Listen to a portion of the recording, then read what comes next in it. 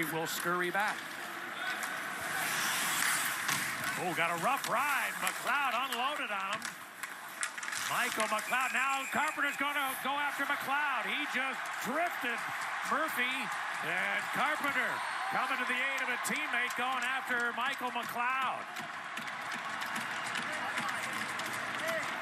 Big hit there by McLeod on Murphy into the boards. And you can see Murphy slow to get up and still on his way back to the bench for the Hawks. And unfortunately for Murphy, he was in concussion protocol earlier this season, so you hope it's nothing serious, but he's going to make his way back to the dressing room. Good on Carpenter to drop the gloves and defend his teammate there.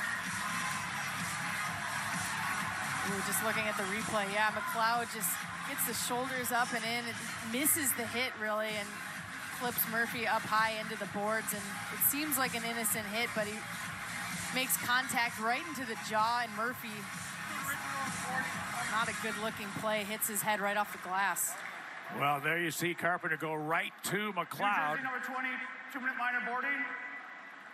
Both players, five minutes for fighting. Well, the Hawks will uh, go to the power play, but you, I mean, Caley, you said it perfectly. You'd love to see Carpenter doing what he did.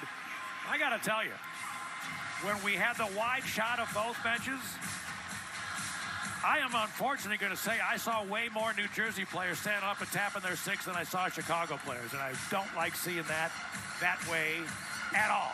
Let's see if the Hawks can use this and do something with it. Just saw Borgstrom tapping